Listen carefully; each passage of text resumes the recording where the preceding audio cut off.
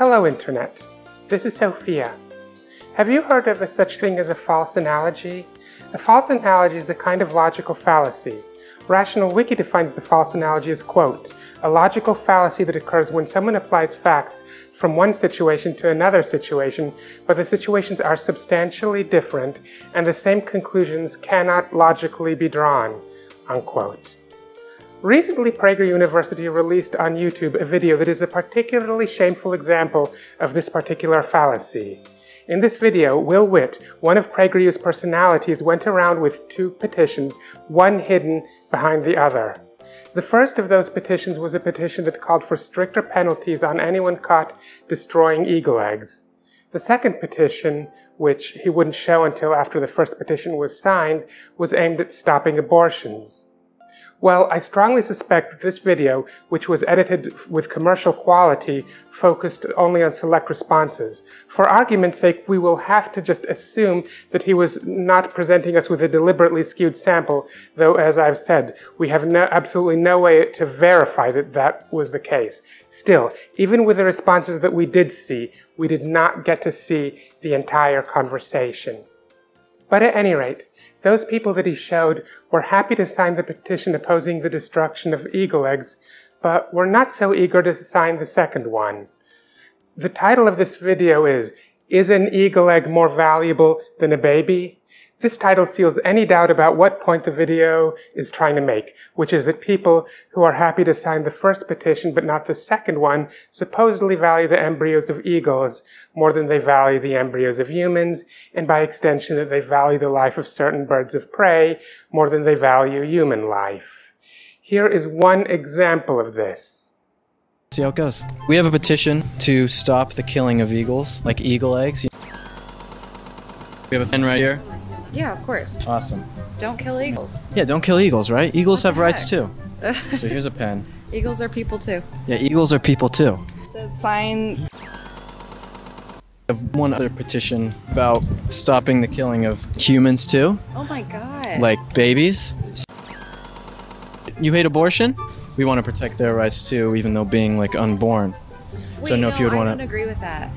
You don't agree with that? No, I'm like I, I'm pro-abortion. Sorry. Oh, fair enough.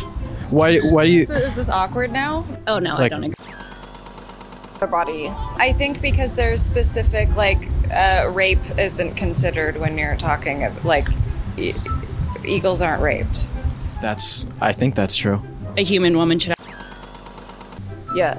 A lot of things get overlooked when we're talking about people because we have consciousness. Yeah, fair enough. Do eagles have consciousness? I don't know. I've never talked to an eagle. That's fair. I don't think eagles have a lot of opinions. I don't think so either. That's okay. All right, guys, we just finished.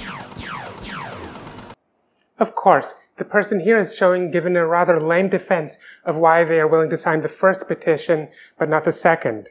Is this because there is no good defense of it? No. Is it because a person being approached is too weak-minded to know the actual defense of their position? Also no. The reason is that they were ambushed by surprise, but I'll get to that in a moment, and first explain what the actual defense of this combination of positions is. The truth is, there is a fundamental difference between the kind of the destruction of an eagle's egg, as people talk about allowing or not allowing, and the kind of human fetus abortions that people talk about allowing or not allowing, that is completely independent of any inherent differences between the values of the lives of eagles and humans. Notice that I'm not referring to all abortions of human fetuses, but specifically to the kinds of abortions of human fetuses that people are talking about allowing or not allowing. You might ask, what other kinds of abortions is there? The truth is, if there were an organization, whether it be the government or any other organization, that were performing abortions on humans without their knowledge and or consent, and Will Witt were distributing a petition specifically aimed at stopping that, then it would not be quite so controversial. As long as it was clear that the petition could only be used against abortions performed without the knowledge and or consent of the people carrying the fetuses in question, there is a good chance that most of them would sign it without hesitation.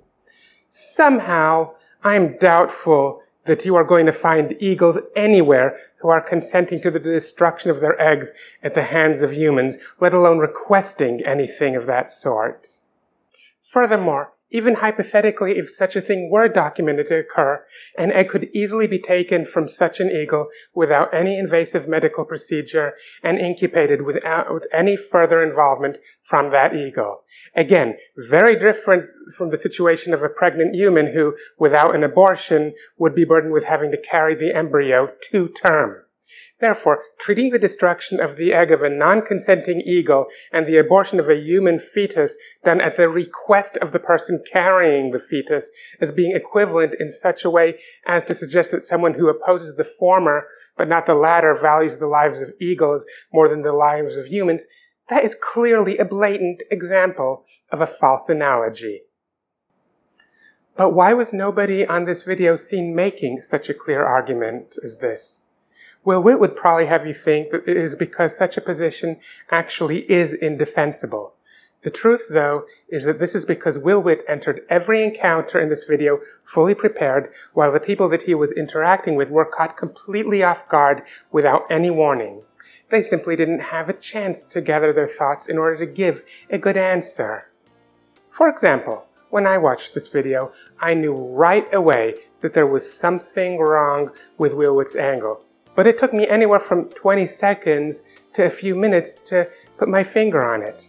Then it took me additional time researching on the internet, five minutes at very least, before I had the correct name for the fallacy that I had identified. Now, you may not think that five minutes is very long, but compared to how long these people that Will Witt ambushed had to respond and try to avoid looking like idiots, that is in fact a very, very, very long time. Anyway, I hope that you enjoyed this video.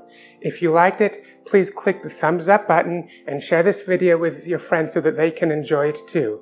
As a matter of fact, if you are a member of any community in which this video would be relevant, it would help this channel a lot if you shared it there as well.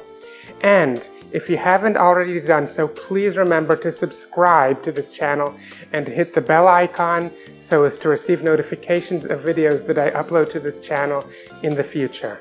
Until next time, see ya!